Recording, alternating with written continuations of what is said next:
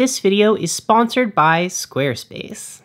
Warhammer 40k scented candles. Today we will be rigorously testing and giving a serious review to each of the five candles in the range, both in terms of how nice these smell as candles, but also in terms of how lore accurate the candles are to their respective factions. Does Slaanesh's soporific musk hold up to its namesake? Do Tyranid toxic spores improve your nervous system and make you more loyal to your hive queen? The answer is yes. But of course it's a little bit more complicated than that, so stay tuned to find out everything there is to know about the world of Warhammer 40k scented candles. Let's start out with the most basic of the candles, as well as the most basic of the factions. Dark Angels Tallow, underscore, underline, the Scent of Faith. This candle is light green to match the iconic armor of the Space Marine chapter that it's named after. And it smells okay, I guess. It kind of smells like the sort of candle you would find in a hotel bathroom. It's not the worst of the candles in the range, but it's also not the best. In other words, it's the Space Marine of candles.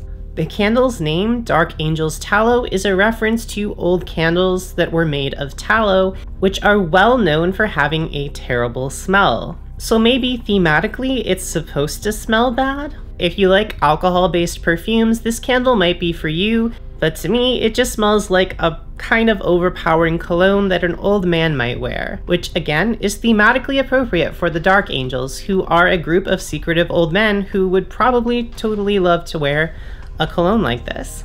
Next up, we have the Astra Militarum Catachan Potpourri Scent of a Death World. And I'm going to tell you, this smell is appropriate. It is the worst smelling candle in the entire range. It makes me feel physically ill to smell this candle, and it's probably going in the garbage after I finish filming this video. This is also probably the strongest smell in the entire range. The other ones have more mild smells, more mild pleasant smells, whereas this one is just hot garbage. However, I do have to give them credit where credit is due. It does smell like the sort of potpourri that a Catachan soldier would make on a world that is inhospitable to human life.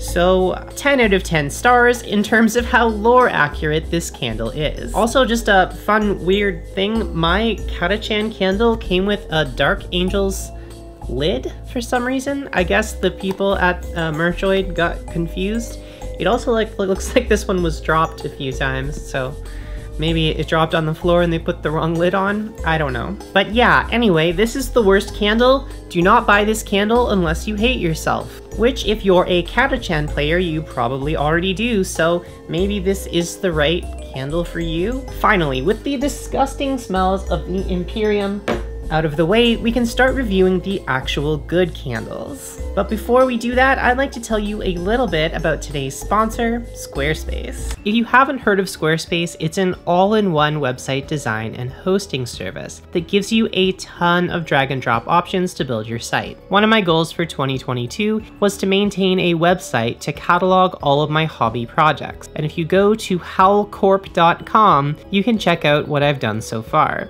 In just a few hours over the course of a week or two, I was able to put together this site, and so far, it's got a photo gallery, the updated rules for miniature pile of shame golf, as well as a tiny shop where right now you, there's only one item to buy and it's the STL files for the pile of shame golf mascot. So if like me, you want to build your own website in 2022, either for a New Year's resolution or a new business or hobby project, make sure to check out squarespace.com for a free trial.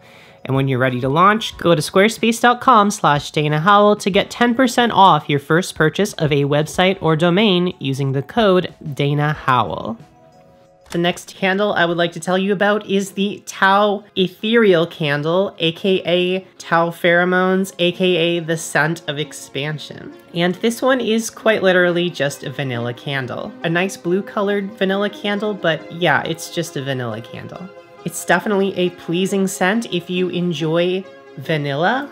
And much like the Tau Empire, this candle is going to improve your sector of the universe in every way possible, and it is much better than both of the Imperial candles, so it's lore accurate that way as well. However, it's also going to make everything just kind of vanilla flavored, so it's But what I'm saying is, I think vanilla is the perfect representation of the Tau Empire. Because vanilla is a boring flavor, and the Tau Empire just kind of makes everything very samey. So once again, I think the theme fits really well here. Pick up this candle if you enjoy Tau, vanilla candles, or you're boring. Next up, we have my favorite candle in the entire range. You can see it's already pretty well used, and I'm burning it right now. And that is Tyranids Toxicrene Spores, which it says on the website is supposed to emit the scent of the Great Devourer when burned. And I gotta tell you, it may just be because I've been burning this candle for way too long, but I feel more loyal to my Hive Queen than I ever have before. And I really like this scent.